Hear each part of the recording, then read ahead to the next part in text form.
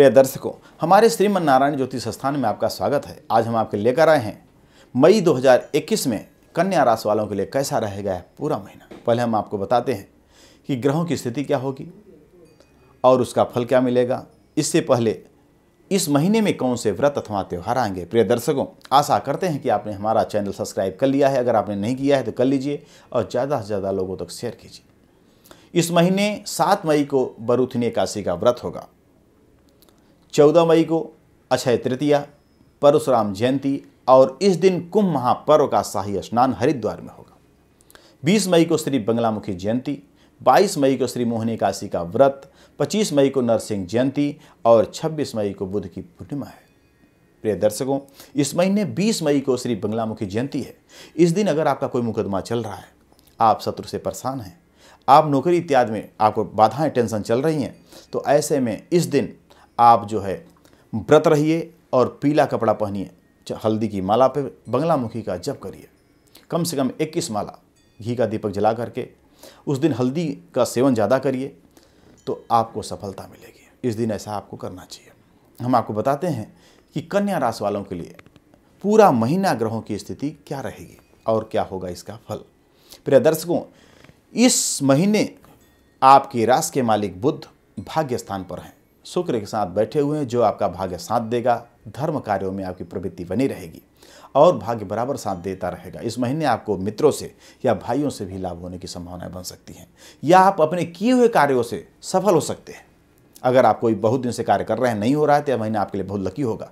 इसमें आप कर सकते हैं। इस महीने में दसम स्थान में मंगल दिग्बली होकर बैठे हुए हैं, जो कि आपको अचानक लाभ दे सकते हैं। माता को थोड़ी शारीरिक पीड़ा हो सकती है लेकिन आपको अचानक लाभ हो सकता है। तृतीय स्थान में केतु विराजमान है, जो कि कभी कभी हल्का फुल्का मित्रों से अनबन की संभावनाएँ बन सकती हैं, लेकिन फिर भी लाभ होगा। इस महीने पंचम स्थान पर शनि बैठे हुए हैं, संतान को लेकर आपको चिंतित रह सकते हैं, लेकिन अगर आप कोई परीक्षा की तैयारी कर रहे हैं तो आपको लाभ होगा। संतान आपकी अगर कोई परीक्षा की तैयारी कर रही है तो उसकी संभावनाएँ ज़्यादा हैं सफलता होने के। बस लेकिन फिर भी आप संतान को लेकर चिंतित रह सकते हैं। इस महीने खष्टम पर गुरु विराजमान हैं, जो आपको नाक, गला और पेट की दिक्कत दे सकते हैं और अचानक आपको दिक्कत डाल सकते हैं। लेकिन विजय अंत में आपको ही मिलेगा। बृहस्पति की पांचवी दृष्टि, पद प्रतिष्ठा नौकरी पर होने की वजह से। आपको इन क्षेत्रों से सफलता मिलेगा, लाभ होगा और समाज में प्रतिष्ठा बनी रहेगी। विदेश यात्राएँ का योग बन रहा है। अगर आप कोई योग बना रहे हैं तो अच्छा योग है।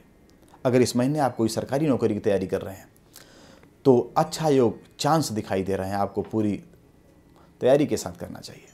अष्टम में सूर्य उच्च के हैं, जो थोड़ा सा आपको कभी कभी क्रोध की अधिकता दे सकते हैं। कुटुंब को लेकर के परेशानी आपको आ सकती है।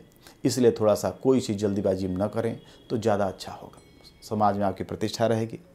इस महीने शनि की तीसरी दृष्टि पत्नी पर कभी कभी पत्नी से भी आपको अनबन की संभावनाएँ बन सकती है। या पत्नी की शारीरिक पीड़ा स्वास्थ्य में थोड़ी कमी आ सकती है।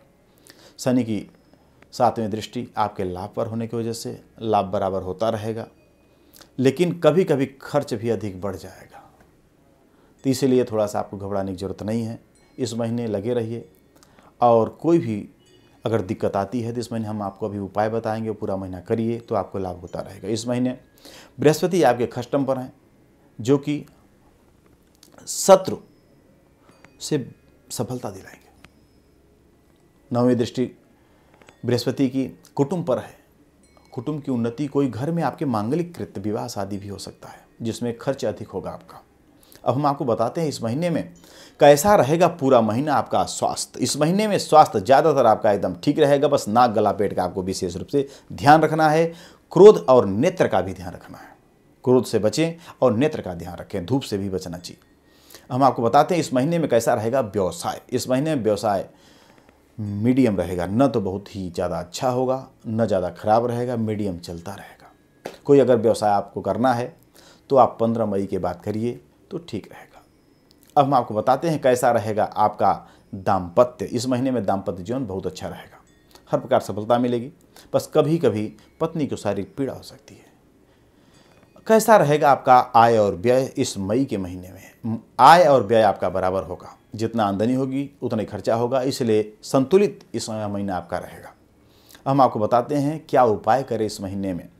जो कि आपका यह पूरा महीना अच्छा ढंग से जाए। इस महीने में प्रतिदिन गणेश अथौर शीर्ष का पाठ करें और गणेश जी को दुर्वा अगर चढ़ाते हैं तो पूरा महीना बहुत अच्छे ढंग से आपका बीत जाएगा। प्रिय दर्शकों, अब हम आपको तारीखें बताते हैं कि इस महीने में कौन सी तारीखें आपके लिए शुभ रहेंगी, जो कोई भी अगर बड़ा कार्य करने के लिए निर्णय लेते हैं तो इन तारीखों को करेंगे तो सफलताएँ की पूरी संभावनाएँ बन जाएँगी। इस महीने कन्या राशि वालों के लिए पाँच, छः, आठ, पंद्रह, सोलह, सत्रह अट्ठारह छब्बीस और सत्ताईस। ये तारीखें आपके लिए बहुत शुभ होगी। इन तारीखों को कोई बड़ा कार्य करें, सफलता मिलेगा। प्रिय दर्शकों, अधिक जानकारी के लिए आप हमारे नीचे दिए हुए नंबरों से संपर्क करके जानकारी ले सकते हैं। इन्हीं शब्दों के साथ हम अपनी बाड़ी को विराम देते हैं। श्रीमन नारायण। भूमि, भवन, वाहन, धन, संपत्ति, शादी, व्यापार एवं संतान आदि से संबंधित समस्याओं से है परेशान और चाहते हैं उनका संपूर्ण निदान। तो आचार्य पंडित अवधेश द्विवेदी से तुरंत संपर्क करें। हमारे संपर्क सूत्र हैं आठ पाँच एक शून्य नौ नौ सात आठ एक शून्य।